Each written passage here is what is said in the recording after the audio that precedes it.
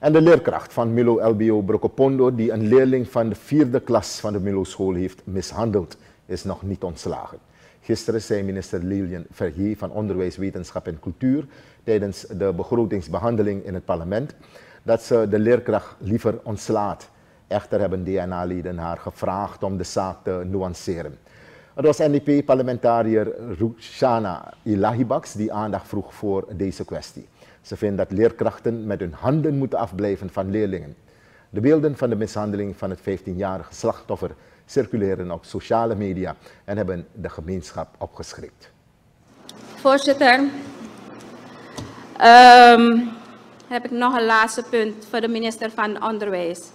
Ik zie haar niet in de zaal, maar minister, ik hoop dat ze luistert. Minister, hoe komt het? Het komt veel te vaak voor dat leerlingen worden geslagen, worden gemapt.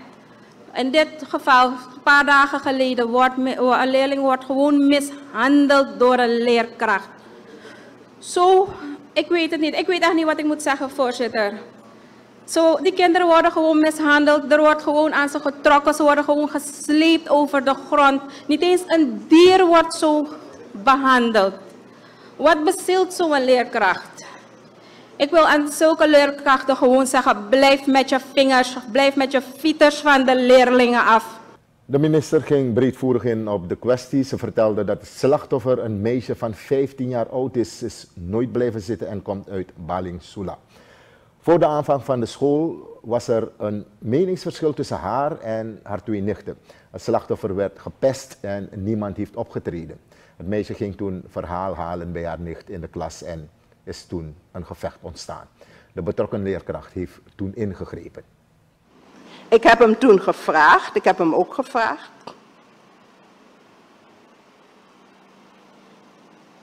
Wat, hem, wat ertoe geleid heeft dat hij op deze manier met een mens, een kind dat geschapen is naar Gods beeld, omgaat. Omdat ik zelfs mijn hond niet zo zou behandelen. Ik heb geen antwoord gehad. Toen ik hem erop op heb gewezen wat de consequenties zijn van zijn gedrag, toen sloeg hij om. En toen was het ineens, ja, maar ik heb ook kinderen en zo. En toen heb ik hem ook gevraagd, wat als het uw kind was? Dat die zo'n behandeling moest ondergaan. En ook daar heb ik geen antwoord op gehad. Voor mij, het zal voor u geen nieuws zijn, staat het belang van het kind nog steeds voorop. Alus minister Lilian Ferrier van Onderwijs, Wetenschap en Cultuur gisteren in het parlement over het incident op de LBO Milo Brokopondo, waarbij een leerkracht een leerling heeft mishandeld.